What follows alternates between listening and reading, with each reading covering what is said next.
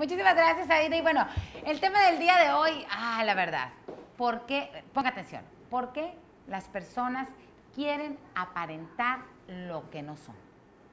se siente identificada, conoce a alguien con estas características, bueno, los invito a que se comunique con nosotros al 973-4826. Y bueno, ¿y quién mejor de esto para hablarnos que nuestro amigo Edmundo Sánchez, que ya está aquí en el estudio? Muy buenos días, Edmundo. ¿Qué tal? Buenos días, ¿cómo están? Encantado de estar aquí como cada mañana. ¿Sí? Perdón, no, un tema muy interesante y lo puedo ver desde diferentes puntos, ya estoy yo maquilándolo luego, ¿no? Sí, Este, el hecho de que quieras aparentar estar bien a lo mejor para, para ser aceptado en, una clase social o en un grupo social, o el hecho de que quieras aparentar eh, algo que no eres por trabajo o por una conveniencia personal, diferentes puntos, ¿no? Sobre qué tema, o sea, ¿qué pasa? ¿Qué, qué sucede?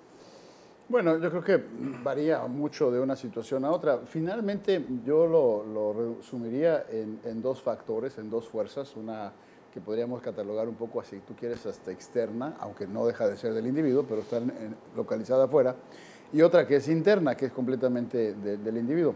En el aspecto externo sería obviamente la, búsqueda de esa aceptación, la búsqueda de, que tú decías en el, en el tema laboral, pues uno buscaría muchas veces la contratación, entonces ah, quieres dar una impresión de que a lo mejor tienes más experiencia de la que realmente tienes que también es una, una, sugerencia a la gente que busca trabajo que pudiera capitalizar la experiencia aunque no sea formal. ¿no? el hecho de que tú hayas estado trabajando con tu mamá o con tu papá, eh, llevándole sus, sus, eh, finanzas. sus medios sociales o sus finanzas, pues no quiere decir que no sea una experiencia válida. ¿no? Entonces, yo recuerdo cuando yo que si hubiera estudiado contaduría pública, no sé si les he comentado un poco en broma, y, y es en serio, que en mi familia nada más hay dos profesiones, hay psicólogos y contadores públicos, ¿no? o sea, no, no hay más. Y se acabó. Entonces, yo si hubiera estudiado contaduría cuando hubiese terminado la carrera, hubiera terminado con mucha experiencia, porque yo toda la parte de la secundaria, la preparatoria, este, le ayudé a mi mamá en su despacho, entonces yo tenía mucha experiencia haciendo declaraciones, ¿no? sobre todo la, la, declaración, cuando salió el IVA, yo era el que hacía todas las declaraciones del IVA, de hecho,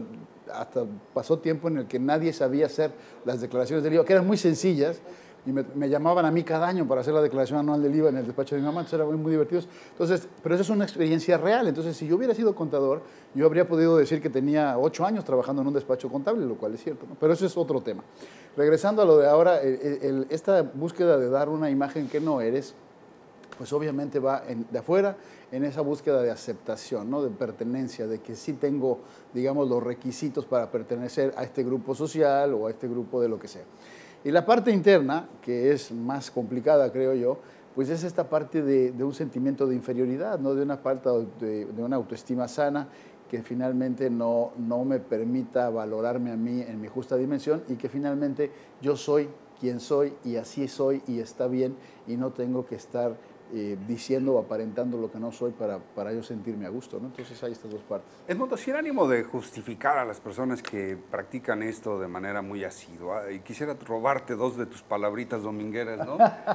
Eh, a ver. No, ¿Qué tanto tiene que ver lo filogenético y ontogenético en esto? Porque creo yo que desde que los seres humanos empezamos a caminar erectos, no hemos podido desprendernos de la necesidad que nació cuando éramos animales, ¿no? La de, como todos los animales, tienen que pretender ser más de lo que son, porque así tienen la posibilidad de subsistir mejor, de espantar eh, depredadores o de conquistar hembras o de reproducirse más o de luchar mejor. Entonces, siempre buscamos aparentar más de lo que somos con el ánimo de poder tener mayor alcance, por un lado, ¿no? Y por el otro, eh, imitamos de manera natural porque es la forma en que más aprendemos, ¿no? Como en las comunidades de los chimpancés, los simios, eh, eh, aprendemos de la imitación y eso nos permite mayores posibilidades de subsistencia.